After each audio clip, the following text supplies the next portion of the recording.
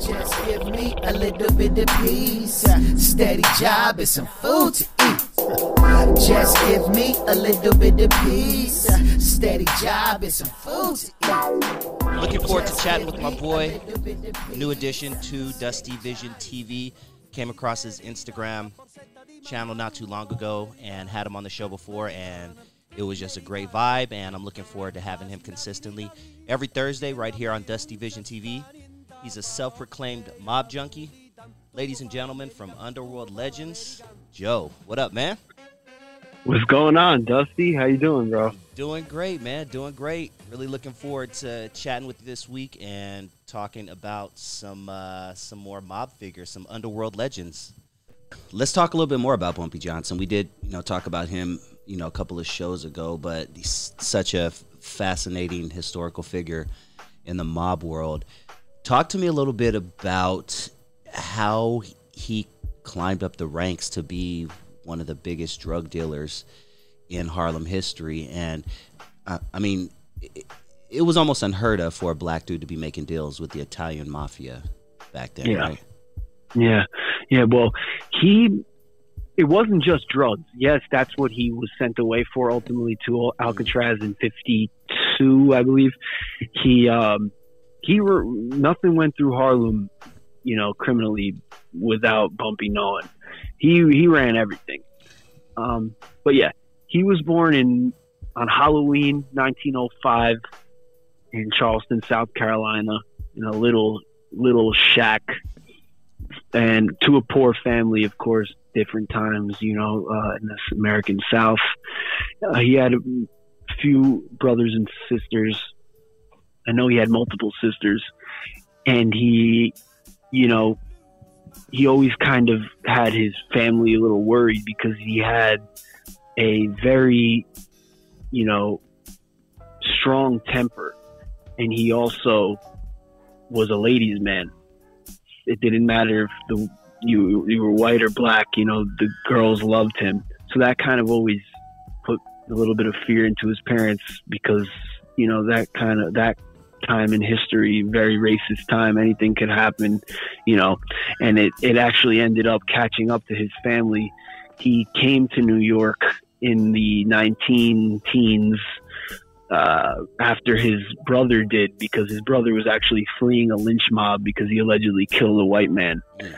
So you know, and and he witnessed many brutal lynchings growing up too. Not witnessed, but you know, they were they were common in his area at the time. So they his parents wanted to get his their whole family out of there, which they did. Most of the brothers and sisters ended up coming up to New York City, and Bumpy comes to Harlem, moves in with a sister, I believe, and he started off like kind of like Capone, regular kid, made friends on the streets little by little, you know, I think he was a paper boy, did little jobs, odd jobs like that in his early teens. And then it eventually turned into gambling on the streets with his friends, craps games. Then it turned into uh, holding up these craps games.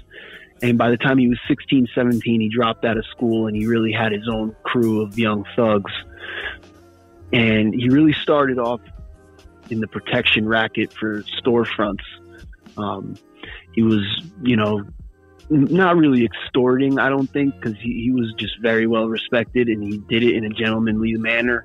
I mean, he probably had to do a little bit of extorting to get some of his money, but he was pretty well respected by the time he was 16, 17, doing this on the streets. And, you know, one day, actually, he comes face to face with Harlem's top gangster at the time by the name of William Bub Hewlett um, he came to collect some protection money at one of his stores, and the, the story goes that the store owner said, "What do you mean? I just paid my money to that guy." And he points on the corner, and it's Bumpy and his crew. And, and Bub looks at him, and he sees he's a kid, and he's like, well, he laughs, and Bumpy, no fear at all, goes right up to him and tells him, "Hey, look." This is my territory. We could either, you know, you can either let me have it or we're going to fight over it, more or less, is what he told him and he earned Bub's respect right there. And that's really when Bumpy's story, I think, his underworld legend, his street reputation is born. He he's well known um, as a you know, a top a young hoodlum coming up, like the movie Hoodlum. And he's recognized by the Harlem policy bankers now, which was the big uh, criminal moneymaker at the time, which is basically just the illegal lottery system. And he was, he and a few of his guys turned into bodyguard for hire. Um, and he served as bodyguard for many guys, most significantly Alex Pompez, who was a top top um, policy banker in Harlem, as well as a couple other guys, Casper Holstein. But there was one great story that was told by his wife in the book she wrote about him, Harlem Godfather, which is one of my favorites. And she tells the story that one night, I believe Bumpy was about 17 years old, him and his uh, best friend, one of his best friends, and you could say lieutenant, a guy by the name of Jacob Nat Pettigrew, who later became one of his top or his top narcotic lieutenant later in the 50s, um, saved the life of Alex Pompez. Bumpy um, was escorting him in a dark alley in Harlem when a when a stick up man jumped out in front of Pompez and basically said, "Run your pockets." And Bumpy fended him off with nothing but a switchblade. Um, eventually, the cops come and he fights the cop too. He, he punched the cop in the face and, you know, told Pompez and his boy Jacob to get the hell out of here. And uh, I think he ended up in the bookings that night. Um, but it's it's that's a great story. And now, even more so, he's you know, really making a street name for himself. And then he becomes under the wing of, which is portrayed in the movie Hoodlum, of the famous Madame St. Clair, who was now emerging as the top policy banker. And then you have the whole war with Dutch Schultz when she was his, uh, excuse me, Bumpy was her street enforcer, protecting all of her rackets and getting in shootouts, whatever it may be, with Dutch Schultz's mob and that's a really fascinating story. Um, and eventually, little by little, um, Madame St. Clair drops out of the race. Dutch Schultz dies, and now Harlem is Bumpy's. Um, he ends up in prison a little bit here and there, but even when he's gone, it's still his. He, he ends up. I, I, know he spent some time in, in Leavenworth, and he he still ran Harlem from there, and he would be the undisputed boss in the jail. Um, fast forward to 19 early 1950s, he sent away to Alcatraz on a narcotics bid. Um, him, he, and a f- few of his operators were, uh, you know, like I said before, Jacob Nat Pettigrew was cohorting with a couple of actually many people don't know this, but a couple of Italians.